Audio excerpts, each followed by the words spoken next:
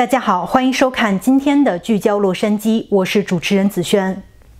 首先，先来关注一下印度、中国互相指责边境紧张局势空中开火的新闻。印度和中国互相指责对方在两国位于喜马拉雅山脉的边界发生对峙期间向空中开火，这进一步加剧了这两个拥有核武器的国家之间的军事紧张局势。今年六月，二十名印度士兵在肉战中丧生。双方都遵守一项长期遵守的协定书，避免在敏感的未规定的边界上使用火器。尽管这项协定未能防止伤亡。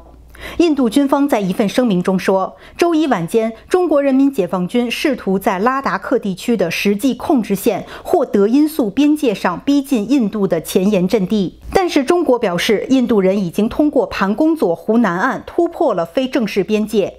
一周多以来，那里的紧张局势一直在加剧。中国外交部表示，印度军队非法越过实控线，率先开火。自七月以来，军事指挥官和外交官举行了几轮会谈，以缓解紧张局势。但在减少干旱的高海拔地区的军队方面，没有取得什么进展。两国都声称这一地区对两国的安全至关重要。印度官员表示，上月下旬，印度军队动员起来阻止中国军队，导致阿尔卑斯山区盘贡湖附近紧张局势升级。